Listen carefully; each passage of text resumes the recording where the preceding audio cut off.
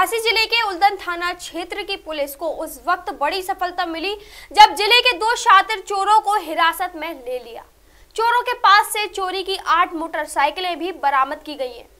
झांसी ज़िले के थाना उल्दन पुलिस ने कार्यवाही करते हुए दो शातिर चोरों को हिरासत में ले लिया है चोरों के कब्जे से आठ चोरी की मोटरसाइकिलें बरामद की गई हैं। बताया गया है कि बीती रात जब थाना उल्दन के inspector Jitendra Singh police team के साथ चेकिंग कर रहे थे तभी मुखबिर की सूचना पर दो संदिग्धों को हिरासत में ले लिया। सख्ती से पूछताछ के बाद शातिर चोरों के पास से आठ चोरी की बाइकें भी बरामद कर ली गई।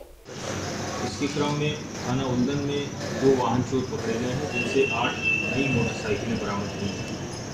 और इनमें, जो मुकदमे लिखे गए थे उसमें रिकवरी हुई है इन मोटरसाइकिलों की। चार वाहनों के मुकदमे कायम थे और चार वाहनों के संबंध में जो लोग थे उनके मालिक थे, उन्होंने मुकदमे नहीं लिखाए थे।